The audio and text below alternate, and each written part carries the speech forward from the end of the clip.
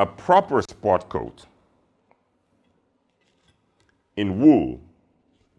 It's a beautiful, very light wool, about eight ounces. This is by Lesser, the tropical wool bunch. Again, it's unlined.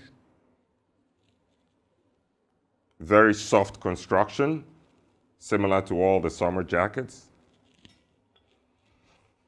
It's a dark blue with very small black checks. And so this is something you might wear at night to a dinner event or just for an elegant outing in the evening with a pair of light gabardine trousers or something of that nature.